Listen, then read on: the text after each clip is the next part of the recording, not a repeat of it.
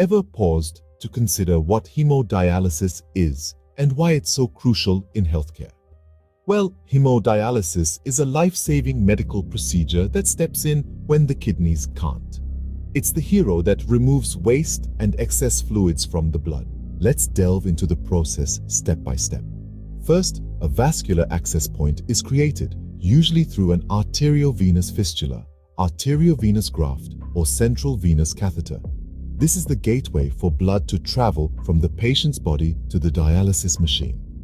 Next, the blood embarks on its journey, pumped through tubing into the dialysis machine, where it meets the dialyzer, our artificial kidney. The dialyzer houses a semi-permeable membrane that opens the door for waste products and excess fluids to exit the bloodstream. Running parallel to this, a dialysate solution, a mimic of blood minus the waste products, flows on the other side of the membrane. This sets the stage for the exchange of substances between the blood and the dialysate.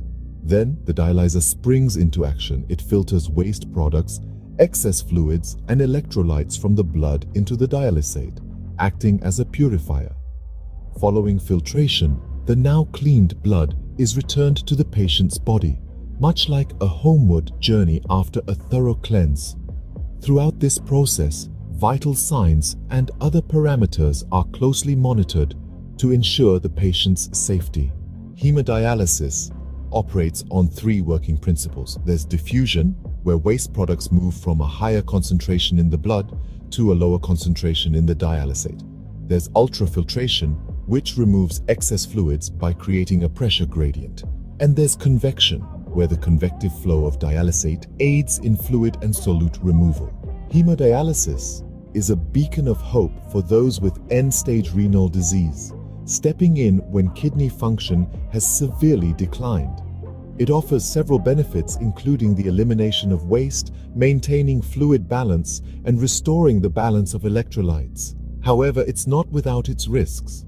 These can include hypotension, muscle cramps, infection, blood clotting, and the potential transmission of hepatitis B and C if equipment isn't properly sterilized. Remember, while hemodialysis is a lifesaver, it's not a cure for kidney disease. Patients often require regular, ongoing sessions to maintain health. The type of dialysis chosen depends on the patient's individual factors and preferences. Regular medical follow-ups and adherence to prescribed treatments are key for successful outcomes. So the next time you hear the term hemodialysis, you'll know the intricate steps at play, its benefits and the risks involved. It truly is a remarkable process, wouldn't you agree?